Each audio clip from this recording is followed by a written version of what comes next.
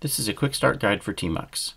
My goal is to show you a few of the things Tmux can do and tell you just enough about how it works to give you a conceptual framework to hang the details on as you encounter them.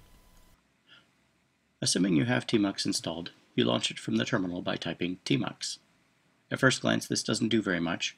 The only difference you can see is that your terminal now has a status bar across the bottom. When you type exit, you get back to your original shell session. There's more going on here, though. I'll do that again, only this time I'll also bring up a list of running processes.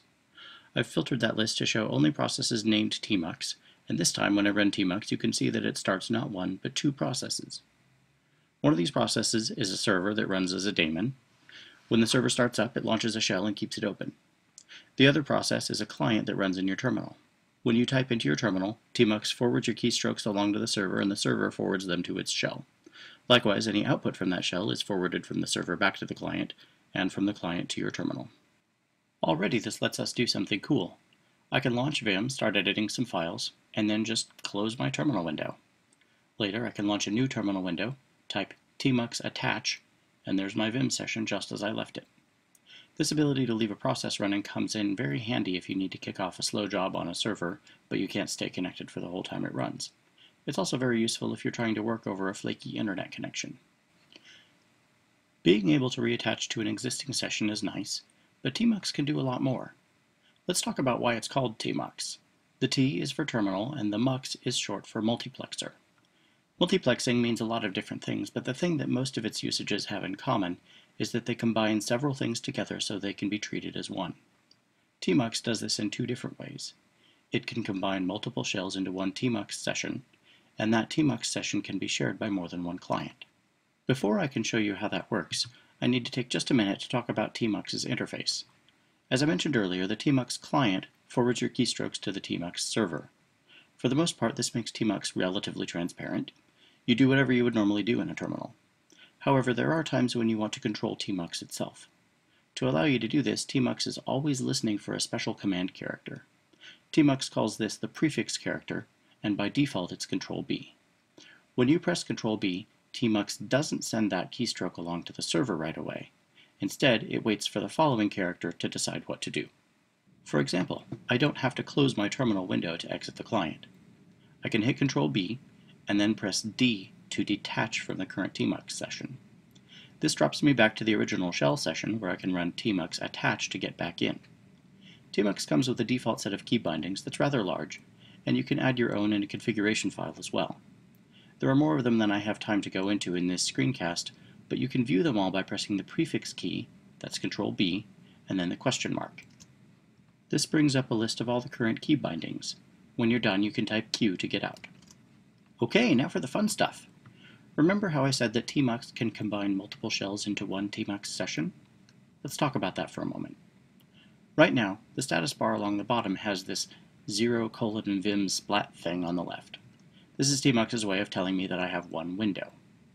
A window is like a screen. It has input and output and takes up the full area of your terminal. To open a second window, I can type prefix C. That's C for create. A lot of the commands have mnemonics to make them easier to remember. Now that I've done that, notice that I'm not looking at Vim anymore. Also, the status bar along the bottom now has a second entry on the left, this is telling me that I have two windows, each of them with a number. The asterisk indicates which window is currently active. I'll run pinggoogle.com in this window, then open a third one using prefix C again. This is fun, but obviously I might want to switch back to one of those other windows. I can do that in a few different ways. I can do prefix N to go to the next window, and prefix P to go to the previous window. Note also that previous and next wrap around from the end back to the beginning again.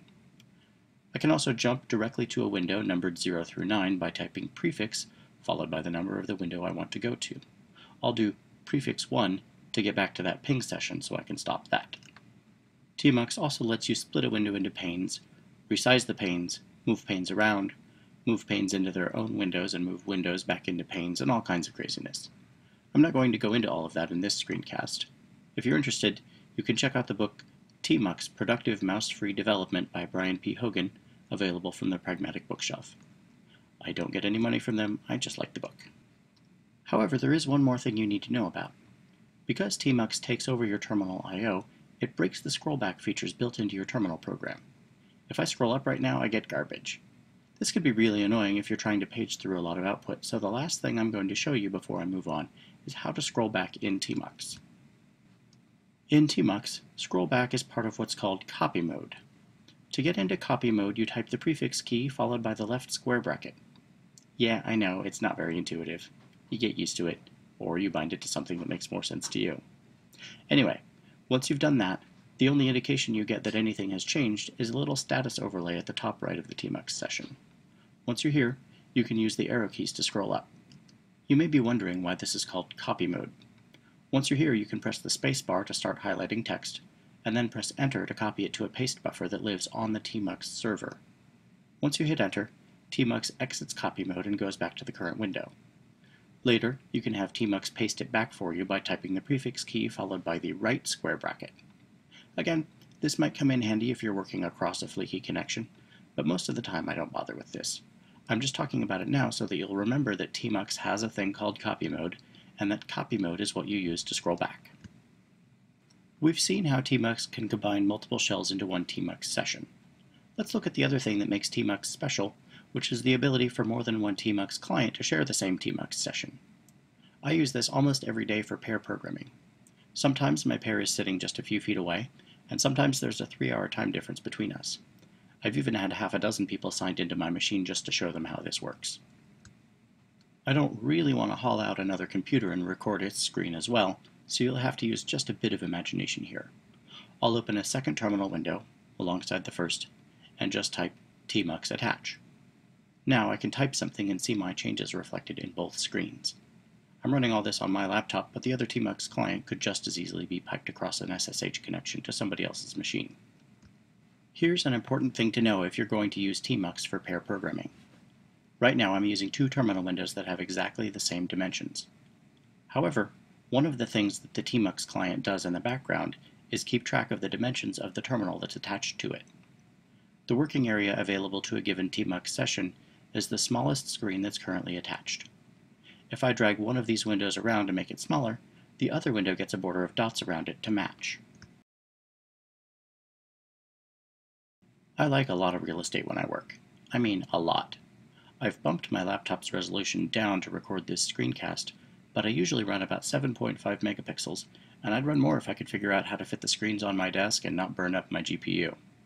So when I use Tmux for pair programming, I make my terminal full screen on my largest monitor and shrink the font down to the smallest size I'm comfortable with, and I ask my pair partners to do the same. That's it for this crash course. I've only covered what I think are the absolute essentials you need to get started using this great open source tool. For more information, you can check out the repository I put together for my work at github.com slash livingsocial slash ls-pair.